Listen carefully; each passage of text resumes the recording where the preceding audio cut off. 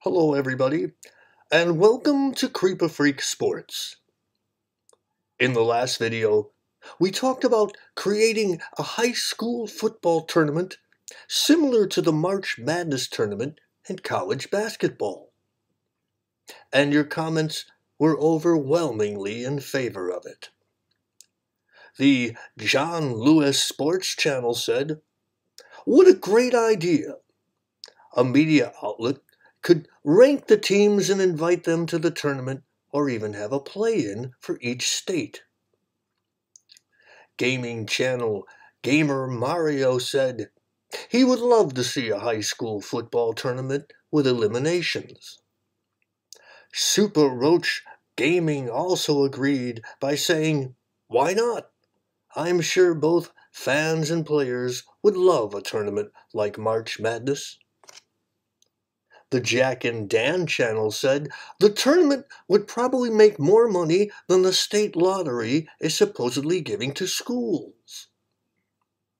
One of the things I love about YouTube is that you can hear opinions from people all over the world. The Eugen Life channel from South Korea said the tournament would be an excellent opportunity for students to grow. The Ren's TV channel from the Philippines said the tournament would be a great opportunity for students to get a college scholarship. It Starts with a Step channel from the United Kingdom said the tournament would be a great way to find new talent and support them in their careers. The wonderful gaming channel from India, Ghost Streak, added The tournament is an absolutely great idea.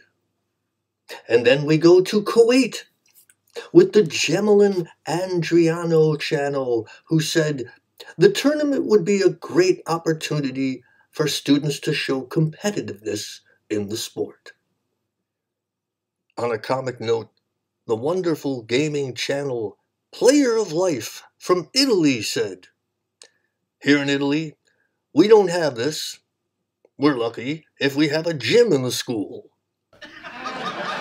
In order to keep this video short, I'm going to power rank my six favorite comments. You could read all of these comments on the Creepofreek High School Madness video. At number six, we have the Laughing Lion channel. At number five, Horrific Nightmares channel. At number four, Melly Playful and Tengu channel. At number three, Pokeboy Productions channel. At number two, Just 8 8 channel. And my number one quote of the week goes to Rebel Railroad Productions, who said, I dig the idea of televised high school football. Even little rural towns like the one I live in could have a chance to make the grid. I want to thank each and every one of you for your comments. Without you, there is no Creepofreek. So until the next time, this is Creepofreek saying, so long, folks.